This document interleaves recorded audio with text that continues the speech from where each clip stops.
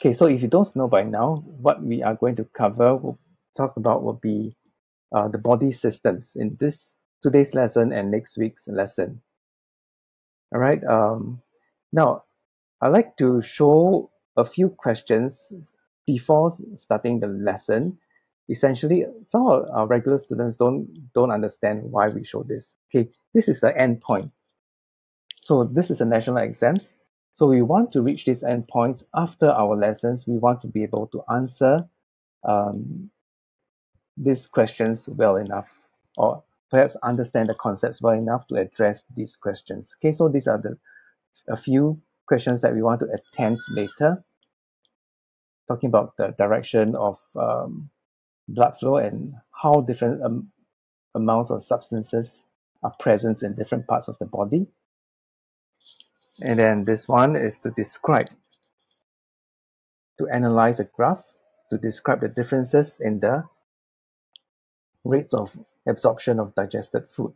okay, what we will be covering covering today, if you don't already know, some of you can guess by what we have our pre-lesson uh, task, is we are going to look at the overall functions of the human body. Okay, so we will briefly examine the skeletal system, the muscular systems, and then we go into in depth about the digestive system and how this is crucial uh, in the supply of digested food for energy. I apologize, I can't draw very straight lines there. Um, and as well as um, to know the parts of the digestive system, what they carry out. And then we'll move into the circulatory system in terms of how materials are transported around the body. And likewise, we want to know the parts, the functions of each part of the circulatory system. There, this is the point where I will have to mute the chat group. yeah.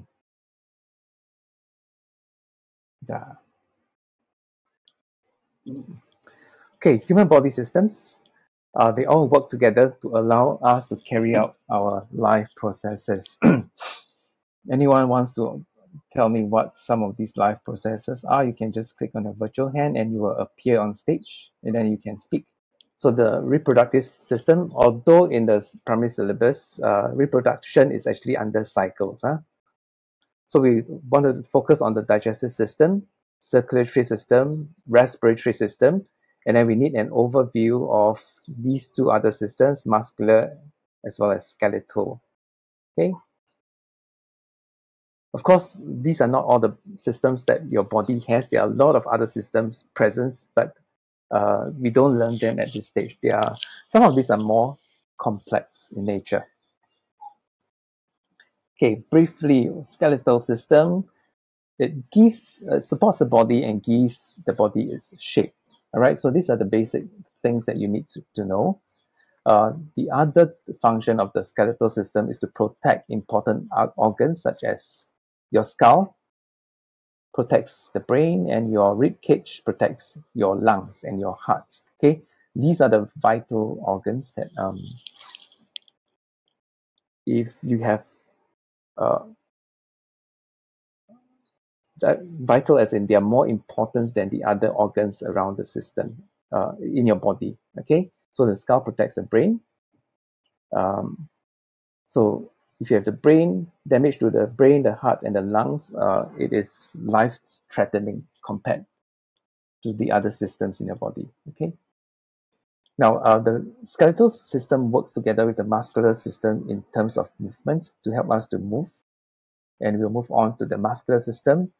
The main function is is to help in movement. So anything that is related to movement has to do with the muscular system. Okay, the muscles are the only tissues in the body that can contract and relax uh, to move other body parts. So they are attached to a lot of body parts like your bones, your, like your organs.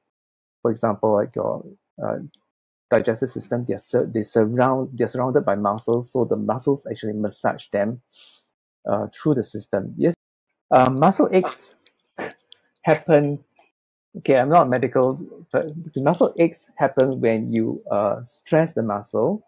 Let's say you run. You have not been exercising and then all of a sudden you go for your 1.6 run km run or 2.4 whatever distances you run then the muscle starts to break down. Okay? It, the, the process of breaking down means that the muscle has to rebuild so it must break down before it can rebuild. So uh, that that I believe causes the the muscle ache that you feel. Okay? So if you are doing regular things all the all day long, staying at home, chances are that your muscles are not going to ache very much unless you stress them.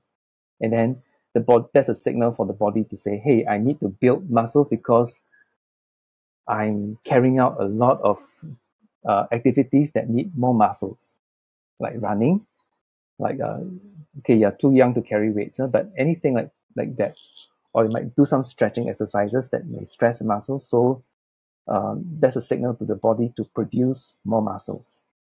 Okay, the heart is an involuntary muscle that beats all the time. So the heart is a muscle, uh, just remember that. Okay, so if you live up to 70 years old, your butt, your heart will have beats about 2 billion times. So um, as I mentioned earlier, many parts of our body are surrounded by muscles. So uh,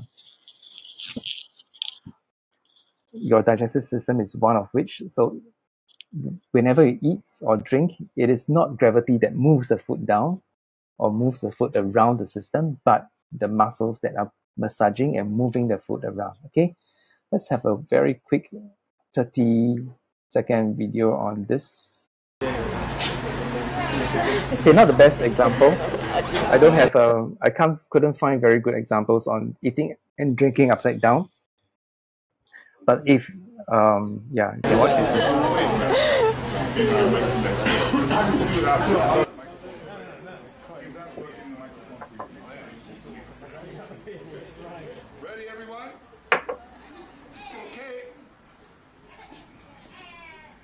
Here we go. This is what you want to see. It can be done upside down by the world record holder. Well done, Peter. You. Not yet. And you can see it on YouTube. You can see it's a world record, but it's much more. It's fine. Now, uh, yeah, you're right about red blood cells. It does not have nucleus. Nucleus is to, uh, if you remember your lessons on cell system, nucleus is to control the activities in the cell, right? And to carry out, uh, also to store genetic information. But red blood cells are, are produced at the bones, so there's no need for uh, uh, reproduction of the cells by themselves. So the bones produce the blood cells, these red blood cells. Um, and their activities are so specialized that they don't need a brain to control to carry out these activities. They just have to carry the materials and move the materials. So there's no um, no brain system to to say, okay, this is where I want you to release the materials, and this is where I want you to absorb materials. Okay, so they know all these kind of functions very well. So they're also shaped in this way. We call it a biconcave way so that um, it allows them to move through very narrow blood vessels, essentially the capillaries. Okay, and when they are filled with more substances, they become rounder, they, or they swell up like that. Okay, blood vessels are present everywhere in your body. There is no part of your body that does not uh, have a network of blood system. So you bleed everywhere when you cut yourself, except if you were to cut your hair. That's a different part of your body altogether. Okay, blood vessels allow uh, only a one direction flow of blood. Okay, we mentioned what valves are earlier. There are three types of blood vessels, the arteries, the veins, and capillaries. Essentially, they are uh, found in different parts of the body. Yeah. And they are different size because they have different um, roles to play in the circulatory